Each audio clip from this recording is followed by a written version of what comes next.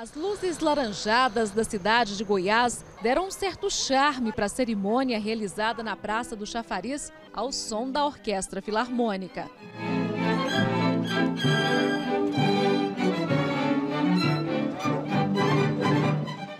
Quase 200 pessoas foram homenageadas com a comenda da Ordem do Mérito Anhanguera. É a maior honraria que nós podemos oferecer às pessoas que já prestaram serviço ao Estado de Goiás e que continuam prestando e ainda vão contribuir em muito para o apoio do desenvolvimento do nosso Estado. Entre os agraciados, o ministro da Casa Civil, Onix Lorenzoni.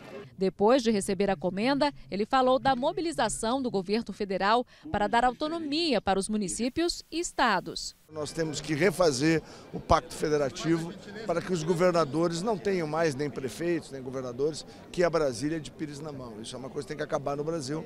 O embaixador da Coreia do Sul, Chan Won-kim, também foi um dos homenageados, junto de deputados, militares e outras autoridades. O governador voltou a falar durante a solenidade sobre a abertura de 10 leitos de UTI no Hospital São Pedro, o que também foi comemorado pela primeira-dama é uma assinatura de esperança e de vidas, de cuidar de vidas, que isso é a nossa maior preocupação. Entre os anúncios feitos durante o evento, foi destacada a parceria entre o governo do estado e os Correios, para que as agências de todo o estado ofereçam serviços nos mesmos padrões do VaptVupt. Unidades dos Correios que terão a oferecer aos cidadãos oportunidade para que eles tirem, por exemplo, carteira de identidade, renovar a carteira de motorista, pela CPF, enfim, uma, uma, uma quantidade enorme de, de serviços, de produtos que poderão estar acessíveis, valendo-se da,